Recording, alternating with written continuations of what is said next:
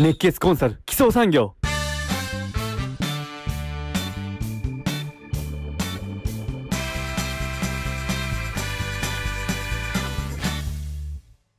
皆さんこんにちは。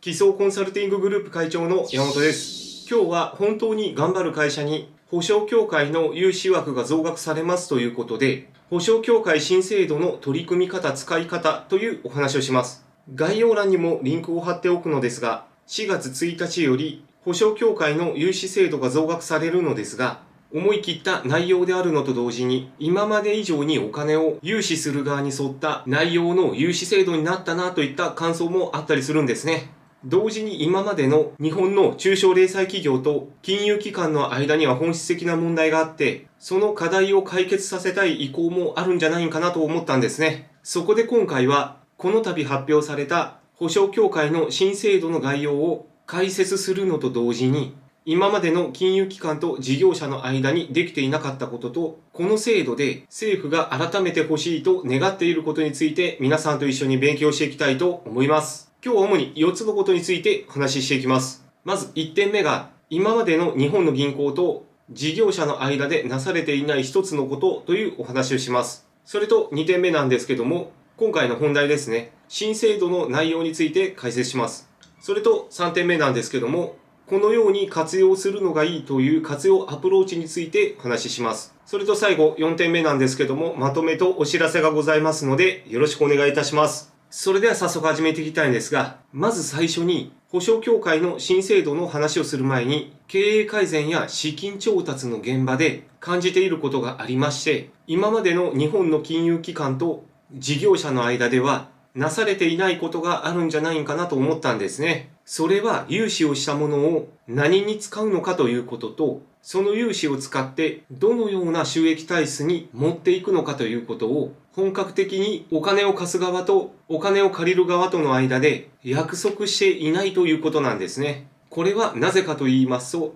日本の金融機関も効率化に次ぐ効率化でちゃんと事業性の判断ができる銀行員が少なくなってきたということと、金利の低迷によって残高を大きく貸していかないと、融資で稼ぐということができないから、向こう何年か分の本当に必要な資金をまとめて貸してしまうという背景がある中で、事業者の方もいい加減な使い方をして赤字体質に陥ってしまったという背景があるからなんだろうと思っているんですね。資金調達コンサルの仕事をやっている中で、弊社のプライベートエクイティの方が言っていた話で、すごく面白い話があったのですが、例えば新しい事業を起こしたいために1000万円の資金を借りたいと考えていたとします。しかしながらこの1000万円の資金というのは1年間を通じての必要な資金ということになりますので銀行だとこの1000万円という資金をまとめて貸してしまうということになるのですがプライベートエクイティの方とこの事業者の間では1000万円をまとめて融資するということはまずないということになるんですね。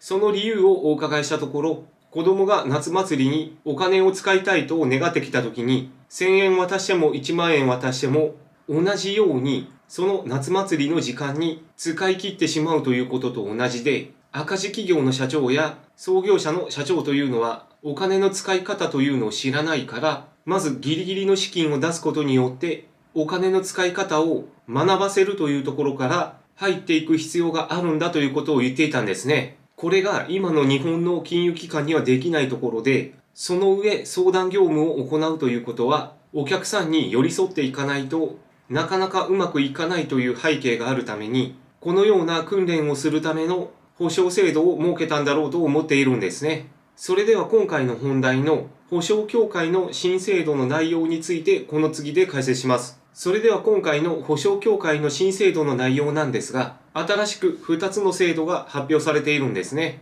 1つ目が、伴走支援型特別保証制度と言いまして、申し込みの流れとしては、中小企業が金融機関に対して融資の申し込みをするのと同時に、経営行動計画というものを作成するのですが、それを受けて金融機関が予診審査をしてセーフティーネットの認定申請を市町村などに行ってその後に保証協会に保証審査の依頼をかけるという内容なんですね。そして保証が大濁になった上で融資をする。そして返済を行っていく中で継続的な伴走支援を行うという内容なのですが、保証限度額は4000万円、保証期間は10年以内という内容のもので、セーフティーネット4555の認定を受けていることが条件となっているんですね。そしてもう一つ、経営サポート保証制度という制度がありまして、これがなかなか斬新な制度だなと思ったんですね。その理由は2つありまして、1つ目が、従来の保証協会が持っている制度ですね。経営サポート会議というものをうまく活用していること。そしてもう一つが、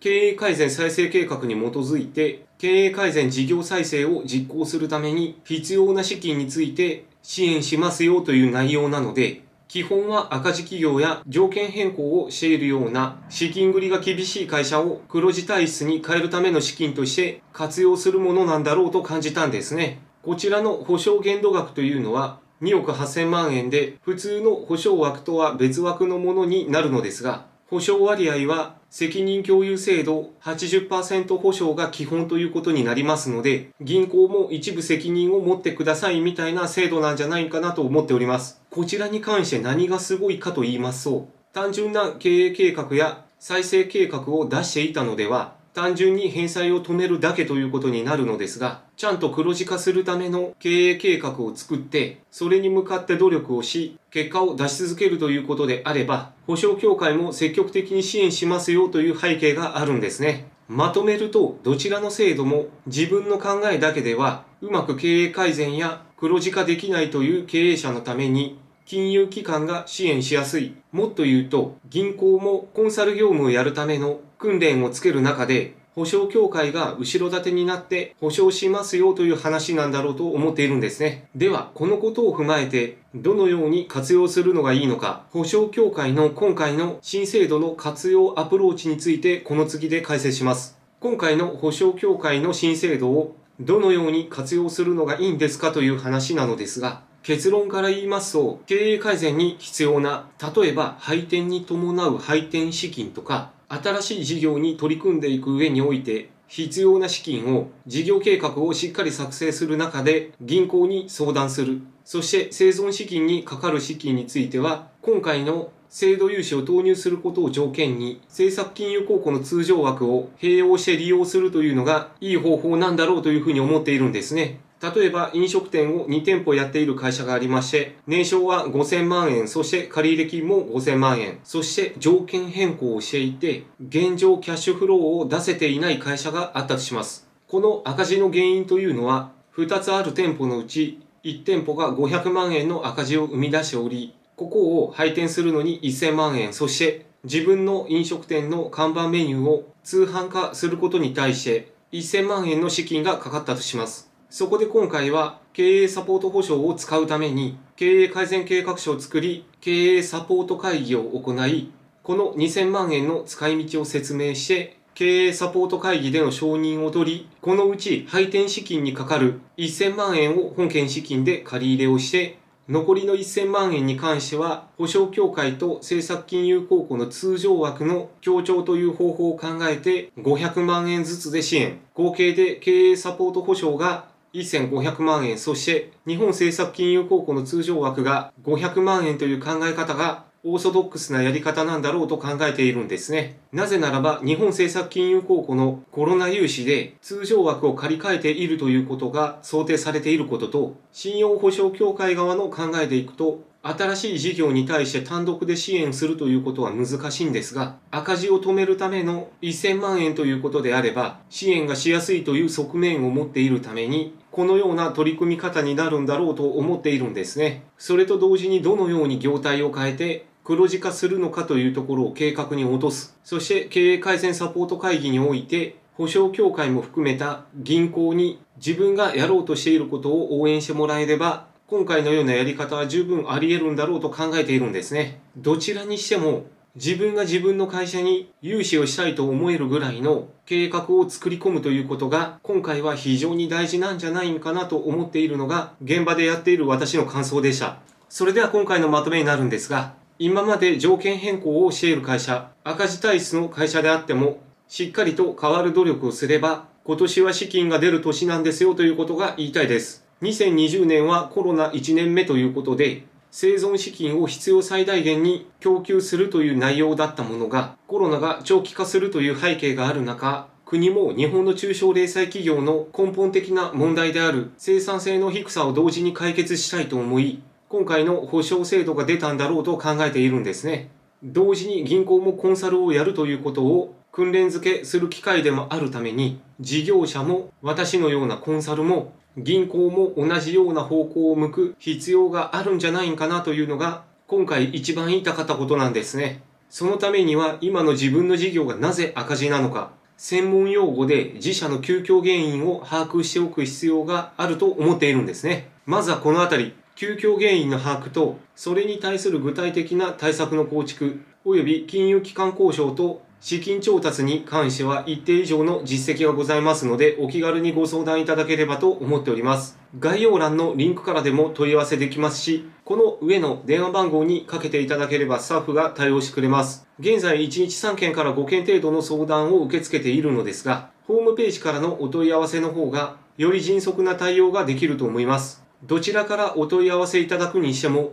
事前に資産表や決算書のご準備をよろしくお願いいたします。あと、メンバーシップのご登録ありがとうございます。順調に加入いただいており、ありがたく思っております。今回は一つお知らせがあるのですが、来年にかけて4代目山本正史になっていただける方の募集を開始します。これには条件が3つありまして、1点目が男女は問いません。そして2点目が金融に対して一定以上の興味がある方。そして3点目が、今現時点で年齢が29歳という、この3つの条件を満たす方を対象としております。今現時点でお仕事をされている方でも構わないのですが、どちらかというと、弊社と一緒に仕事をしてもらった方が、より4代目に近くなるんじゃないかなと考えているんですね。こちらに関しても詳細は、ズームでの面談でお答えしていきたいと考えておりますので、ご興味のある方はこちらに関しては、ホームページのお問い合わせ欄のその他のところでお問い合わせいただければと思っております。より楽しく学べる動画作りと事業者のお役に立てるコンテンツ作りに取り組んでまいりますので、メンバーシップのご登録を引き続きよろしくお願いいたします。それでは最後まで見ていただいてありがとうございました。チャンネル登録よろしくお願いします。M&A で会社を買いたい、売りたい。サラリーマンをしていて独立企業副業で稼ぎたい会社の資金繰りに困っている。銀行からお金を借りたいけどどうしていいかわからない。そういった方はぜひ概要欄に弊社ホームページのリンクを貼っておりますのでお気軽にお問い合わせください。お金の悩みは必ず解決できます。一人で悩まずにまずは弊社にご相談ください。私たち基礎産業が全力でサポートします。